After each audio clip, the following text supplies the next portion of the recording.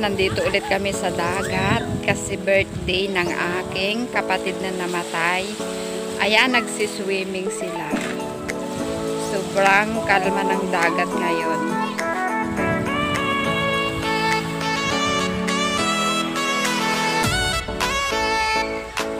Ang ganda ng weather.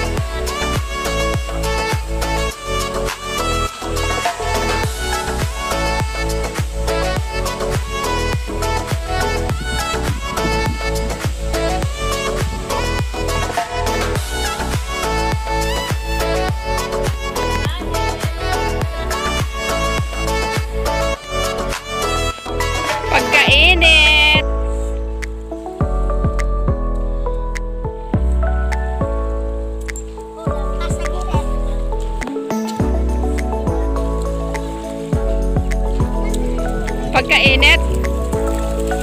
O pagkagandaling tubig, pagkalinaw?